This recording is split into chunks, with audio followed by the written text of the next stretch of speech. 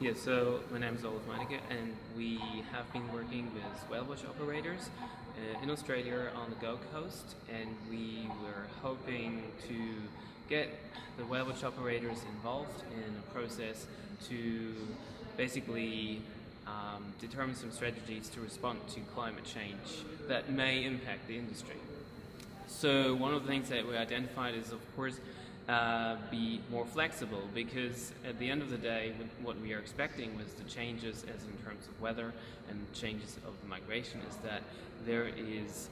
um, you know, a, a, need of faster response to, to such changes. So today is a good day, uh, tomorrow it's raining and windy, so I can't go out. So I need to be flexible and I need to provide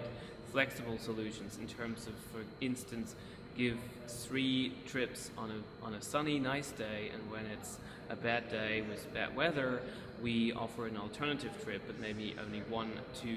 see dolphins instead of whales. So, in that sense, um, trying to increase flexibility and um, allow the customers different, um, uh, different selections of, of a trip.